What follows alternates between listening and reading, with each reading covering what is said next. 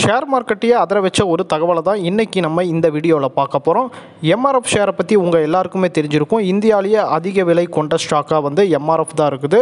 கிட்டத்தட்ட ஒரு லட்சத்தி ஐம்பத்தி ஓராயிரம் இந்த ஸ்டாக் வந்து நெருங்கி தற்போது ஒரு லட்சத்தி இருபத்தி மூவாயிரத்தி முந்நூற்றி எழுபத்தி ஒன்பது ரூபாய்க்கு ட்ரேட் ஆகிட்டு இருக்குது. எம்ஆர்எஃப் தான் இருக்கிறதுலே அதிக விலை இருக்கக்கூடிய ஒரு ஷேராக வந்து நம்ம நினச்சிட்டு இருந்தோம். பட் அந்த விலையை விட அதிகமான விலையில் ஒரு ஷேர் வந்து இப்போ மார்க்கெட்டில் ட்ரேட் ஆகிட்டு இருக்குது. அந்த ஷேரை பற்றி தான் நம்ம இந்த வீடியோ வீடியோவில் பார்க்க போகிறோம் எல்சிட் இன்வெஸ்ட்மெண்ட் அப்படிங்கிற ஷேர் தான் அது. இந்த ஷேர் வந்து இயர்னுடைய லோவா மூணு புள்ளி முப்பத்தி ஏழு பைசாலேருந்து நவம்பர் ஒன்று அன்னைக்கு ரெண்டு லட்சத்தி அறுபதாயிரத்தி நானூற்றி அறுபத்தி அஞ்சு ரூபாய்க்கு இந்த ஷேர்னுடைய ப்ரைஸ் வந்துச்சு. எக்ஸாக்டாக சொல்லணும் கடந்த ஜூன் மாதம் பார்த்தீங்கன்னா மூணு புள்ளி ஐம்பத்தி மூணு பைசா தான். தற்போது இதனுடைய விலை ரெண்டு லட்சத்தி அறுபதாயிரம் ரூபாய் கிட்ட ட்ரேட் ஆயிட்டு இருக்குது. இந்த ஏற்றத்துக்கான முக்கியமான காரணம் செபி இன்வெஸ்டிங் கம்பெனிஸினுடைய ஷேருக்கு சில ப்ரொசீஜர் அறிவிச்சாங்க.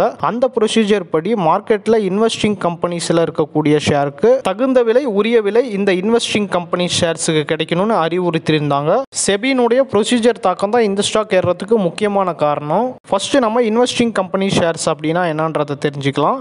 மார்க்கெட்டில் இருக்கிற மற்ற கம்பெனிஸில் வந்து முதலீடு செய்யறது மற்ற கம்பெனிஸினுடைய ஸ்டேக்ஸை வாங்குறது தான் இன்வெஸ்டிங் கம்பெனிஸ் அப்படின்னு வந்து நம்ம சொல்லுவோம். இது இல்லாமல் இன்னும் சில வரமுறைகளும் இருக்குது. இந்த செபியினுடைய இன்வெஸ்டிங் கம்பெனிஸுக்கான ப்ரொசீஜர் காரணமாக தான் இந்த எல்சிடி இன்வெஸ்ட்மெண்ட் ஷேர் வந்து வந்து இந்த அளவுக்கு உயர்ந்திருக்குது. இந்த எல்சிடி இன்வெஸ்ட்மெண்ட் ஷேர் வந்து பெரிய ஏற்றம் அடைஞ்சிருந்தாலுமே கூட இந்த ஏற்றம் நீடிக்குமா? இல்லை இந்த ஏற்றத்துலேருந்து கீழே இறங்குமா? அப்படிங்கிறதையும் நம்ம பொறுத்திருந்து தான் பார்க்கணும். இந்த காரணமாக நம்ம இந்த ஷேரில் வந்து எந்த ஒரு முடிவும் அவசரப்பட்டு எடுக்க முடியாத சூழ்நிலை அப்படிங்கிறது தான் இருக்குது. ஸோ இந்த ஷேர் வந்து எந்த ஒரு பையிங் ரெக்கமெண்டேஷனும் கிடையாது செல்லிங் ரெக்கமெண்டேஷனும் கிடையாது. இதே போல் இன்வெஸ்டிங் பண்ணக்கூடிய ஷேர்ஸ் வந்து மார்க்கெட்டில் சிலது தான் இருக்குது. பட் அந்த ஷேர்ஸ் எல்லாம் வந்து எந்த ஏற்றமும் பெறலை. இந்த எல்சிடி இன்வெஸ்ட்மெண்ட் மட்டும்தான் குறிப்பிட்டு நல்ல ஏற்றத்தை அடைஞ்சிருக்குது. இதை பற்றின வேறு தகவல் வெளியானுச்சுன்னா நம்ம சேனலில் தெரிவிக்கிறோம். அது மட்டும் இல்லாமல் இந்த ஸ்டாக்கை குறித்த ஒரு எக்ஸ்பிளனேஷன் வீடியோவும் நம்ம சேனலில் கூடிய சீக்கிரம் வரும். ஸோ தொடர்ந்து நம்ம சேனலை ஃபாலோ பண்ணிக்கோங்க.